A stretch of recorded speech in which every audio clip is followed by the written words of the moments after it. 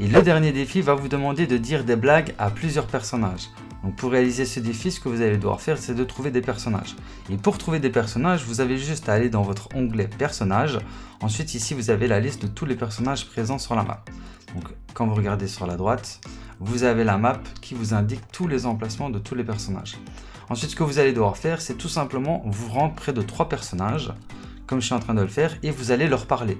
Logiquement, euh, quand vous allez leur parler, il y aura un dialogue qui va se passer et vous allez tout simplement dire une blague au personnage. Donc dès que vous aurez dit votre blague à ce personnage-là, vous allez devoir le dire à deux autres personnages. Quand vous aurez été raconter une blague à trois personnages en interagissant simplement avec eux, bah là vous aurez terminé le défi et vous débloquerez les récompenses.